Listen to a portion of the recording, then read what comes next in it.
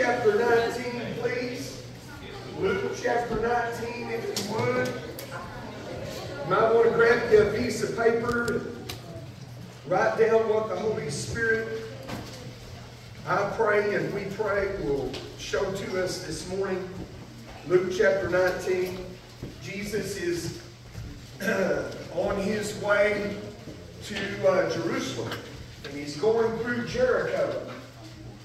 We're going to talk about as he travels through Jericho, and then next Sunday we'll talk about when he got to Jerusalem and look at all that occurred, and mainly that he gave his life for you and for me, and rose from the dead and did for you and for me what you can for all eternity never do for yourself. What all of your goodness, all of your good works, all of my turning over a new leaf, all of my starting over again, all of my, okay, God, I messed up this time, but now I'm going to do better, which never happens. Jesus didn't come to fix me, he came to change me. I need more than just being fixed. I need to be changed from the inside out. And then that change will fix me. Amen. I want us to do a Bible study for just a little bit, verse by verse, over a man who saw his need for Jesus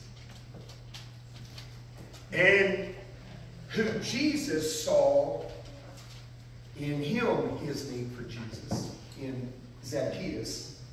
And there's some things we can learn this morning from the life of Zacchaeus where Jesus took time purposely to stop and interject himself into Zacchaeus' life so that he could change him from all for all eternity. And guys, lost or saved this morning, what you and I desperately need is for Jesus to interject himself into your situation and into my situation and into my life and into your life as a whole. You see, we have so many people today. You're here, I'm here this morning for this very reason because we realize everything out there that is promised us in the world is a lie. It cannot change you. It cannot fix you. It cannot help you.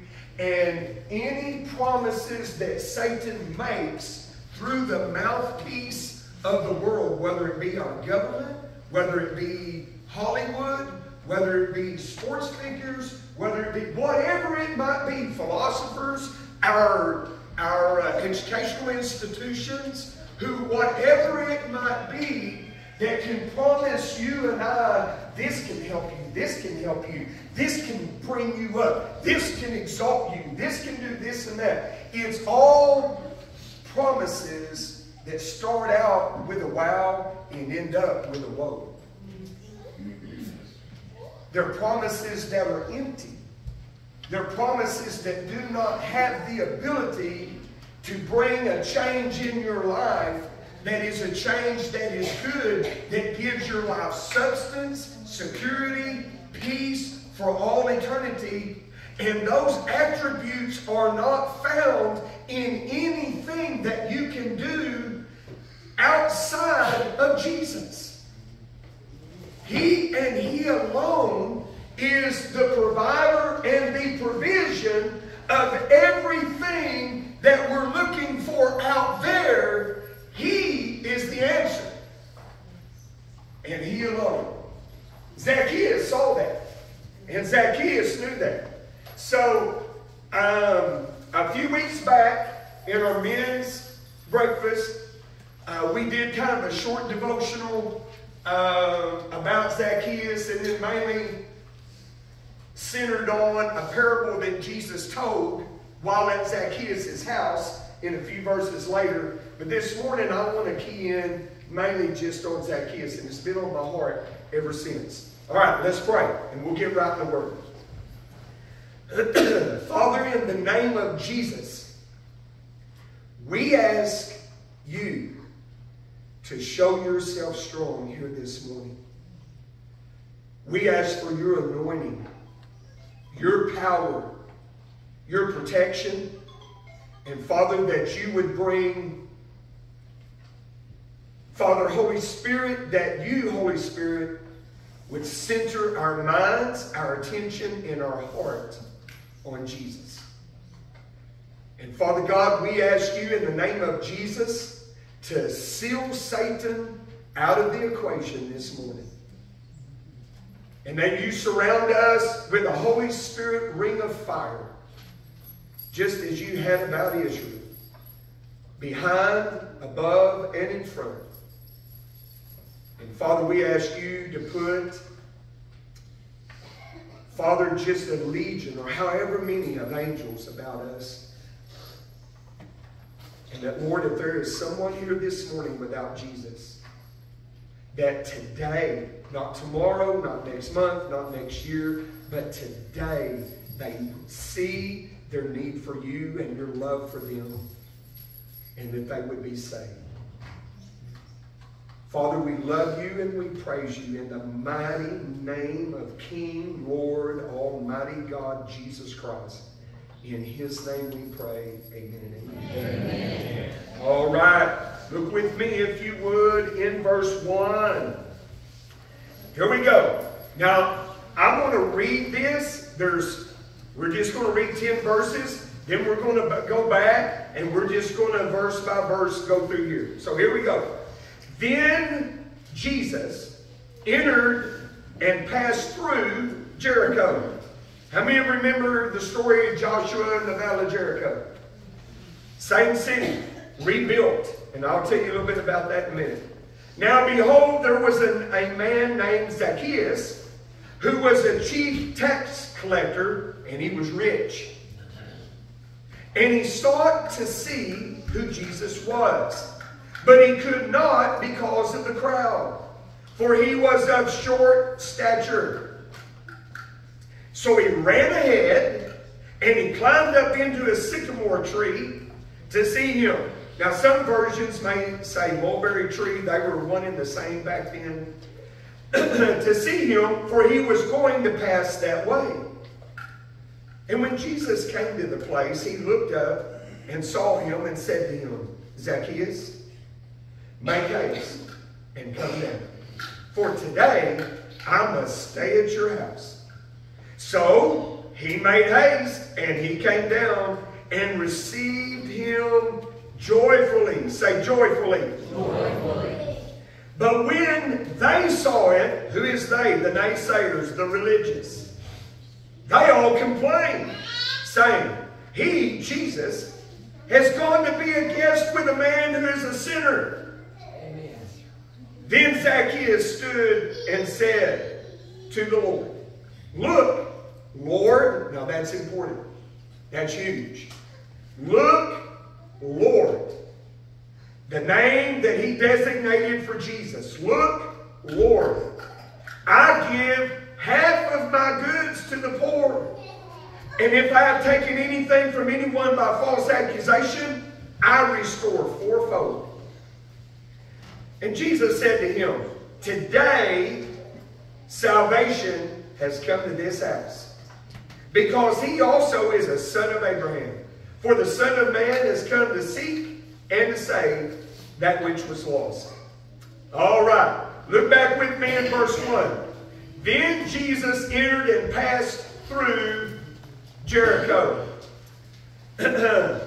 Jericho is a city of old from all the way back in the days of the giants. It was a city in the promised land in the book of Numbers in chapter 13 and 14 where the children of Israel crossed the Jordan River, went in to uh, the promised land, and the first city they came to was what? Jericho. And when they came to Jericho, you guys know how they marched around Jericho every day for seven days. And on the seventh day, they went around it. Somebody, how many times? Seven. Went around it seven times on the seventh day. And the walls came tumbling down. Okay? In Joshua chapter 6, the Bible says that Joshua, and I think it's verse 26, Joshua said, Cursed be anyone who rebuilds this city. Now, that's pretty strong. But here we see the city's been rebuilt. Now, God didn't rebuild it. Man rebuilt it. And that curse actually uh, was fulfilled, and I'm trying to think of the name of the guys, the two guys, the guy that built it, his two sons died while he was uh, while he was building it. Anyway, the point is this.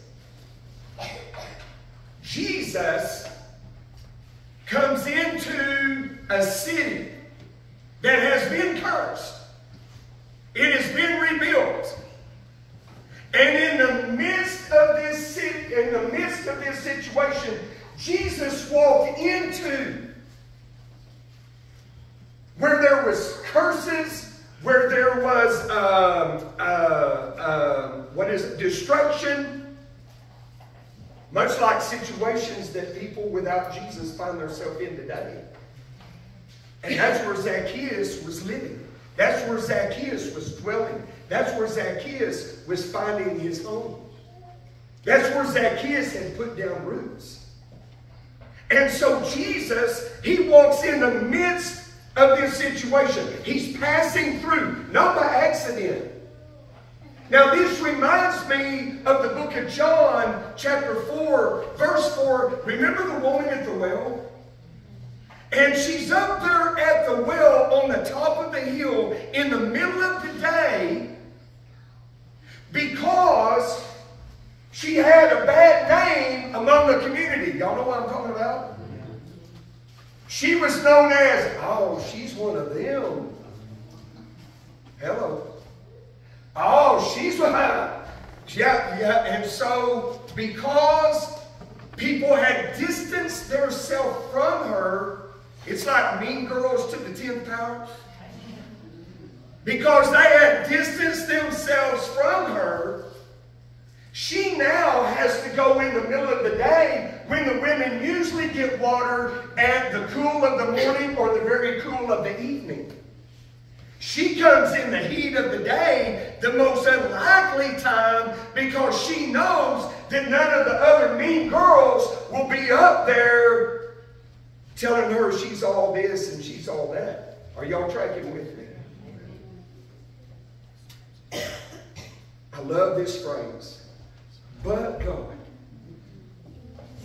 But Jesus. The Bible says Jesus is on his way to Galilee. Okay? He's leaving Judah. He's on his way to Galilee. But verse 4 says he must needs, he needed to go through Samaria. Now let me tell you why that's important.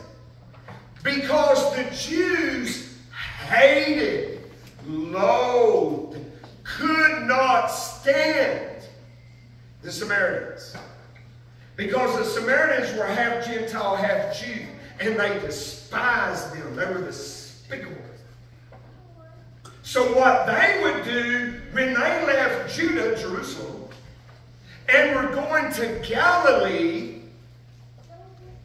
they would go around on foot and with donkeys many, many miles out of the way just to not be in the same area as those people they despise.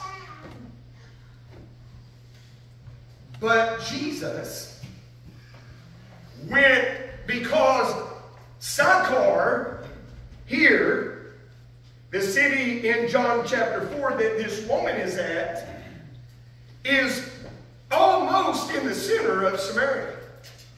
And so Jesus goes, now you got to catch this, right through the center of what everybody else religious is avoiding. Y'all hear me? I don't know about you, but how many of you have ever been in a religious church and you're like, ooh, I don't fit in here? And you can tell when you walked in the door. Listen, religion without relationship does not have God involved in it anyway. Amen. Jesus is what makes the church the church. Amen. Now watch this. So Jesus goes right through the middle of Samaria to Sychar. His timing is impeccable. Only God could time this out. And we're not going to preach on this young lady today, but this is imperative to see because the same principle is applied with Zacchaeus. You see, before the woman at the well ever thought about Jesus, Jesus had already been thinking about her. And before she had ever seen Jesus, knew about Jesus, or had heard Jesus, Jesus saw her, thought about her, knew her, and loved her. While she was being despised by the religious and despised by the mean girls, she was being loved by Jesus before she ever even knew him. And that love for Jesus, for this, quote, woman of ill repute, that love of Jesus for this woman caused Jesus to say, I must needs go right through Samaria. His disciples didn't get it. Other people didn't get it. But how many of you know God does not need my approval before God can move in my life? Amen. Are you hearing me? There's sometimes God just does a sovereign move. He'll do a sovereign move in spite of what I'm thinking, in spite of what I'm doing, in spite of where I think God ought to do, in spite of what I expect God should do, and in spite of what I expect God is going to do. God will surprise me with His sovereignty and say, I believe I will take the steering wheel and motivate and do this or do that. And thank God at the end of that, am I glad that He did. Now that, that transition might be a little painful for me. It, there's not be things I may not, I might not understand in the midst of it, but God is always for my best. Amen. And so God, He doesn't listen to the disciples. He doesn't go by the common denominating opinion. He goes straight to the well on the top of the hill in the middle of the day sends his disciples to town. And the lady comes up by herself. Broken, hurting, dejected, rejected, and alone. And all the other adjectives and adverbs that you could throw into the description of her life, she's feeling. So she takes her bucket, going to get what she thinks will help her for a few hours in one day, physical water, not knowing that Jesus is fixing to offer her and give her the uh, opportunity to make a choice for him that will fill her for eternity. Let me just throw this in here. It doesn't matter where you're at today. The Holy Spirit, in the midst of your mess, or your dejection, or your rejection, or you don't even understand yourself, is trying to enter your circumstance and say, You need me. Now, watch this. And I want you. You see, God doesn't need me. God wants me. Now watch this. That woman needed Jesus. But Jesus wanted her. Listen, Almighty God is totally self-sufficient. He is self-sustaining. He doesn't have to have anybody to do anything for him. Every word he says and every action he does is purely grace and mercy, and it's out of love. Amen. But he desires you and he desires your life because he's the only one that can truly satisfy and give you life. Amen? Amen. So Jesus went through Samaria. And the good part of the story, and I'll bring that part to a close, she got saved, born again, went to the town, told everybody, and all of a sudden, all the men of the town ran out to Jesus. And when the men of the town ran out to Jesus, they then talked to Jesus. The Bible says they believed, and then they said, "We not, we now don't believe because of what you said. We believe because we've heard His words ourselves." So Jesus comes to Jericho. And in coming to Jericho, he meets a man. And it says there was a man named Zacchaeus who was a chief tax collector and he was rich. Now skip on down, if you would, to uh, the latter part of verse 3. It, he says, But he was short, he was of a short stature. Let me bring something out that's easy to read, to read over, to read past and not get. It's very, very important for us today, for our personal life in Jesus. The Bible says he was a very short man. People like, what does that have to do with it? He was also a chief tax collector. And he was rich. He got rich by being a chief tax collector. Now watch. He had little man syndrome. And the reason he had little man syndrome, now I'm taking a moment to speculate on my behalf, amen. He had little man syndrome, and the reason I say he had little man syndrome is because he took a job, other than being a Roman guard or a soldier, he took a job with the most authority that he could possibly have. Now watch this. And the job that he took, he viewed as an equalizer. Are y'all hearing me? He took that job and viewed it as an equalizer. I might be short, but I get your money, you going to listen to me. Amen. Now watch this.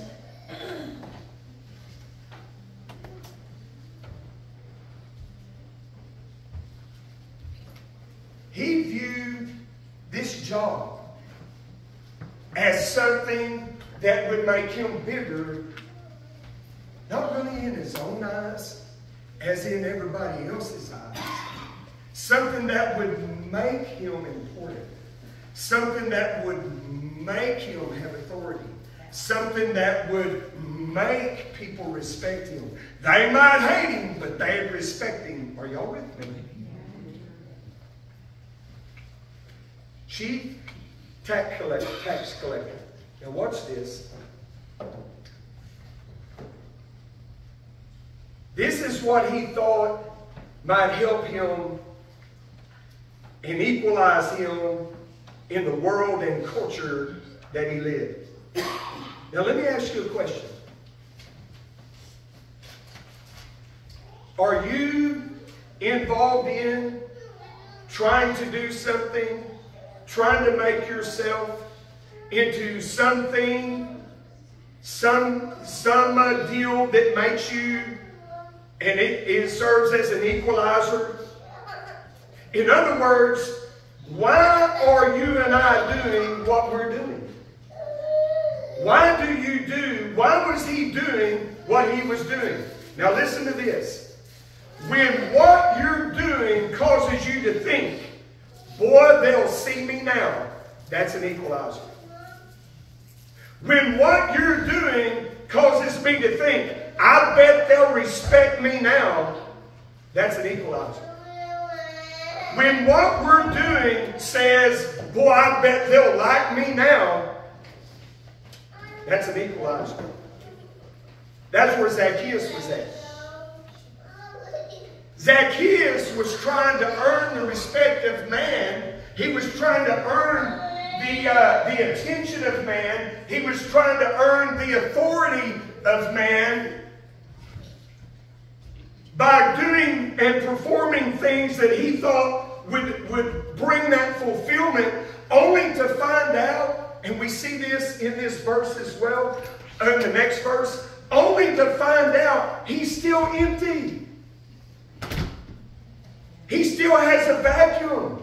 He still has a void in his life. He still has an empty spot that nothing can equalize.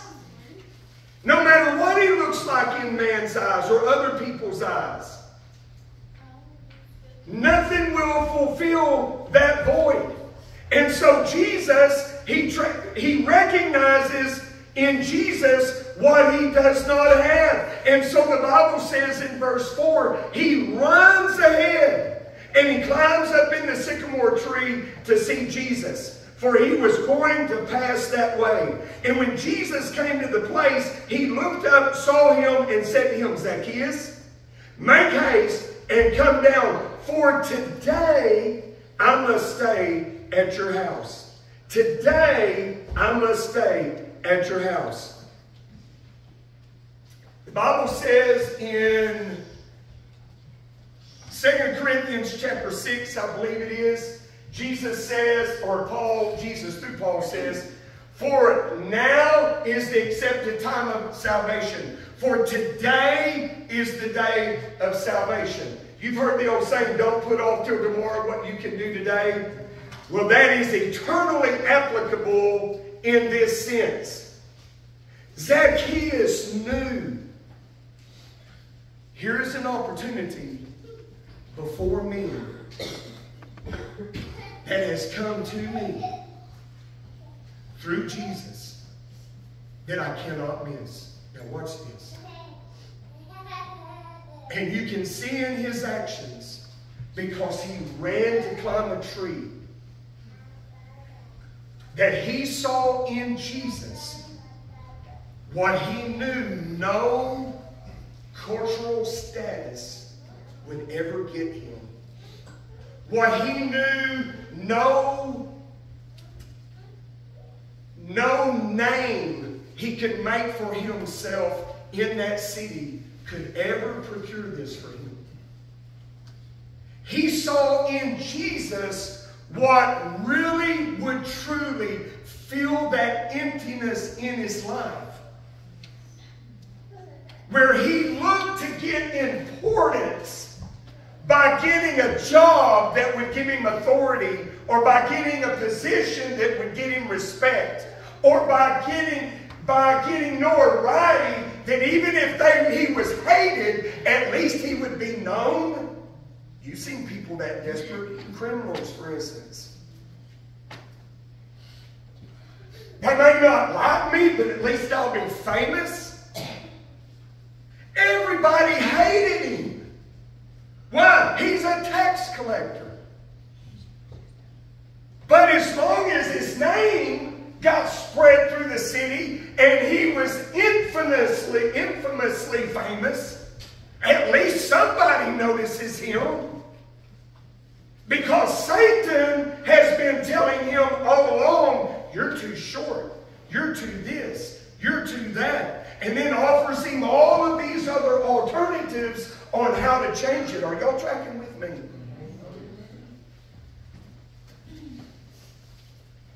But he sees Jesus. And when he sees Jesus, the Holy Spirit immediately prompts his heart. And he has a drawing to Jesus. And he runs and he climbs a tree in order to see Jesus. Now that's just one alphabetical letter short of seeking Jesus, to seek Jesus.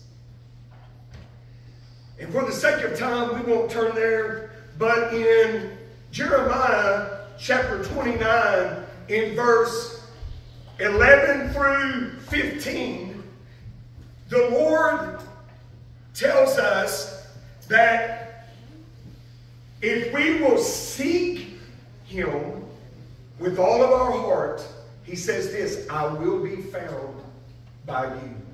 Now watch. He runs and he climbs up that tree because he now has hope that things are about to change. Things are about to change. Guys, you know why we come to church? One of the reasons, there's many, but one of the reasons we come to church because we want to be amongst like-minded people who truly believe the Word of God and believe that only in Jesus can He really bring about the change that we want and desire. Sometimes that change can be like a surgery that's being done on us. Sometimes that that change that Jesus brings can be painful at the beginning because there's things that we've grown up with in our whole our whole life that are absolutely destroying us, but we like them. And so sometimes those changes may not be the easiest thing, but they're always the best thing. Amen. And Zacchaeus had been lied to just like we have by the devil. They're never going to like you. They're never going to want you. You're to this and you're to that, or you're to this or you're that, or you're not this or you're not that. Just like the woman at the well. There's no telling what the quote mean girls have told her.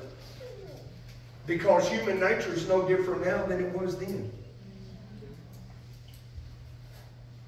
And so Zacchaeus runs and climbs a tree because it was Jesus that he was wanting to see.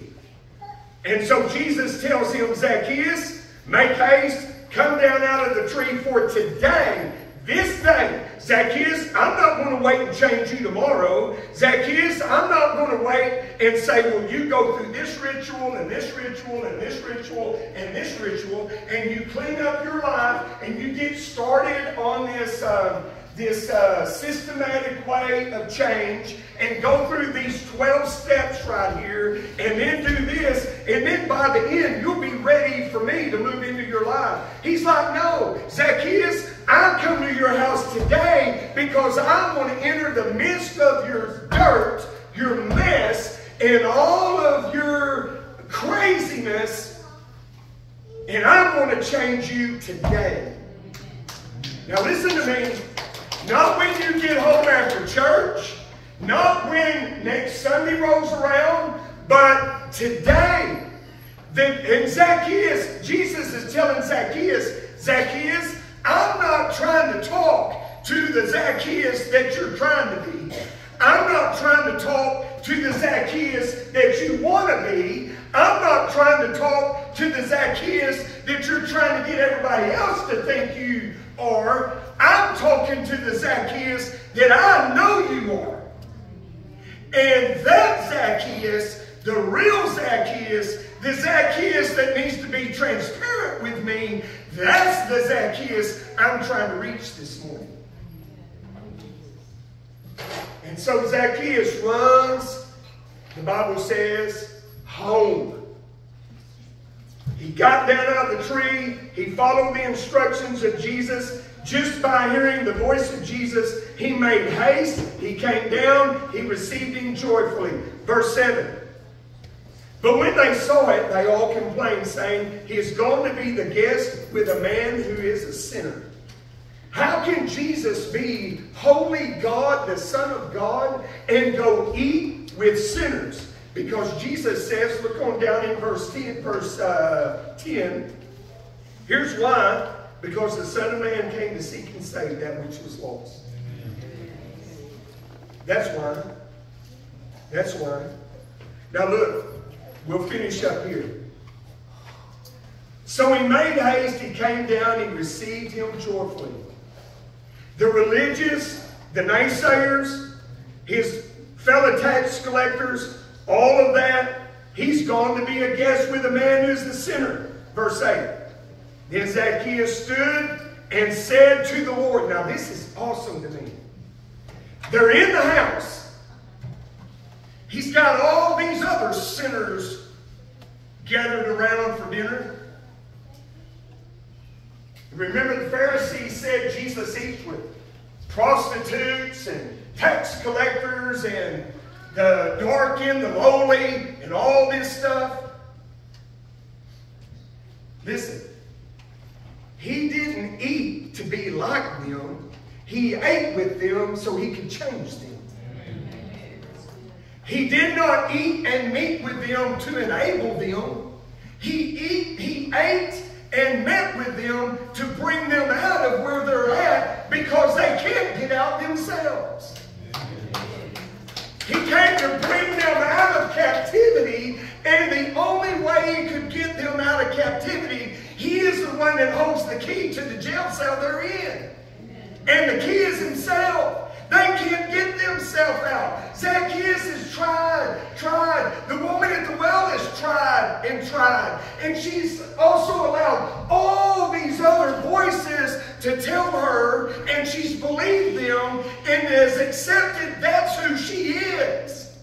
Zacchaeus has accepted what the devil has been telling him. That's who I am. I'm short. Nobody likes me. I'm a Jew in a, in a town that's been cursed. Among all of these Gentiles, I'm collecting their taxes. They don't like me. They don't want me. Most of them want to kill me. And Jesus enters the scene. Guys, it is no different with me and you. Jesus is asking you this morning, can I come into your house? This body, 1 Corinthians 6 says, is a temple of the Holy Ghost. Amen. It's a house, so to speak. Paul actually, 2 Corinthians 5 calls it a tent. You're like, why would he call it a tent? Because a tent is a temporary dwelling. You're only going to have this body so long. And it's going to be gone.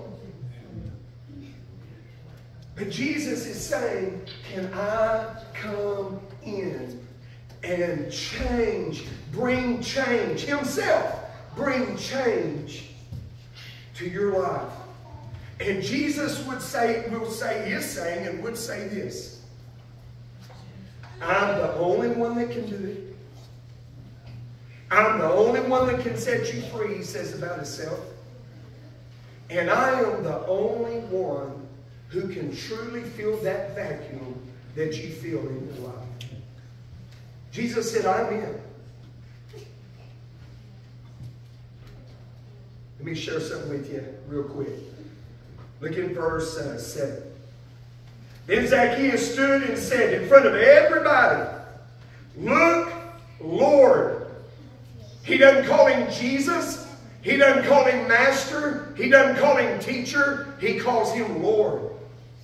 In other words, you are God in the flesh. You are Lord. And then you see the fruits of repentance. I give half of my goods to the poor, and if I've taken anything from anybody by false accusation, I restore it uh, fourfold. Now, according to the law in Leviticus chapter 6, verse 1 through 6, God said that if you had stolen something by falsities, by deceit, or by robbery, when you when you uh, repent, that you have to restore all that you took plus one fifth. So he says, I'll restore it fourfold. That's way more than what God is requiring in the law. Why? Because now Jesus has changed his heart and has given him a heart to give, a heart to restore, a heart to see restitution done to those whom he has hurt. And so, verse 9, Jesus says, Today, there's that word again, salvation has come to this house because he also is a son of Abraham. He was a son of Abraham only by physical lineage. Now he is a son of Abraham in the sense of Luke chapter 16, Father Abraham, in a spiritual sense, he is a child of the living God. For the Son of Man has come to seek and to save that which was lost. Guys, let me tell y'all. I don't know where you're at with Jesus today. I'm assuming probably most folks here have given their heart and life to Jesus. But also, I know as many people as are here, there may be some of you who have not given your heart and life to Jesus. And listen, I say this because this happens so much. Going to church for five Sundays don't make me a Christian, amen? amen. Going to church my whole life don't make me a Christian. Guys, it's knowing Jesus. Knowing Jesus. No, be religious won't change you. It won't change me. I've said this before, and you can share this with other people too. Being in church doesn't make me any more a Christian than standing in my garage makes me a car. It's not going to happen. And you can use that with other people to explain. Guys, I don't get saved by osmosis by standing next to Calvin and Calvin's salvation rubbing off on me. Now, having said that, because my mama's saved, don't make me saved. Amen. Because my grandma's saved, don't make me saved. Are y'all hearing me? Because I've read through the Bible, don't make me saved. Now that's a great thing. And God will reach you through reading the Bible. And you and I should be reading the Bible. But reading the Bible in and of itself, apart from Jesus, will not save you. Only Jesus and Jesus and Jesus and Jesus alone can give you life. And here's what I'm saying. And that change in your heart and in your walk and in your actions and in your attitudes because my actions are only the result of my attitude and my thought life. Amen. So God comes in and changes how I think. If I'll let Him. So Jesus, who is for you and everything He's ever done, is a love action, and this is a love letter to say to you, sir, ma'am, young person, old people, I love you. And if you will let me in your heart enough, I will give you the life that you've been wanting forever and ever just come to me. And I'm finished by just saying this.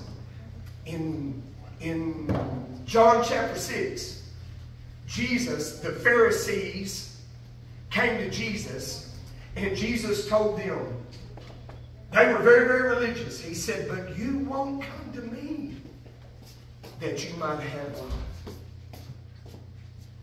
And guys, so many people, they want what Jesus has, but in deception, they don't want to let go. Repentance, repentance. They don't want to let go of their life that is opposite and opposing Jesus. But it's like we said in Sunday school this morning, many people want, want the gifts of Jesus without Jesus. And they want the help of Jesus without Jesus. And they want eternal life but without Jesus. And they want the miracles and blessings of God but without God.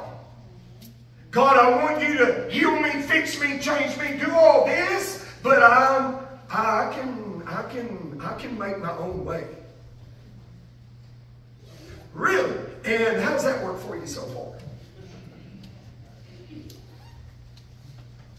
Living testimony. It don't. Amen? Amen. All right, let's see.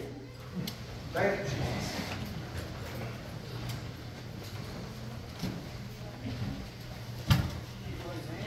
Anybody warm in here other than me? Thank you. Hallelujah. I'll help you out. Excuse me. Um, listen. If you're here today and you've never received Jesus as your Lord and Savior, I want you to know something. We love you. But what really matters is Jesus loves you. He truly, truly does. It's not just a sign on the billboard. It's not just a, how do you say a macrame that somebody stitched into a, a neat shirt. It's none of these things. He truly, really, really does love you. And listen, you're here today because he really does want you and he's trying to draw you to himself. But he will not force himself into your life. He will allow you to make that choice. So if you're here today and you'd say, Preacher, I'm going to be honest today with myself, with God, with myself, maybe for the first time. I need Jesus. I'm lost. I'm not proud of that. I'm just being honest. I'm lost. I need Jesus. I've never accepted Christ as my personal Lord and Savior. I've never asked Him to do in me what He did for me on the cross. I need Jesus. If that's you, I want to challenge you. Everybody's looking. Everybody's looking. I'm looking. Everybody's looking. Just like when Zacchaeus stood up in the middle of his house. Lord, I repent in the name of Jesus. Everybody's looking. Listen, if you can't stand for Jesus in here among people that love you, you'll never stand for him out there. Amen. Never. And besides that, when you step out for Jesus in here, it gives you a one-up lift to step out and stand for him out there. Jesus said, Whoever acknowledges me before men, I will acknowledge before my Father. Whoever denies me before me, and him will I deny before my Father and the angels who are in heaven. So, here's my point.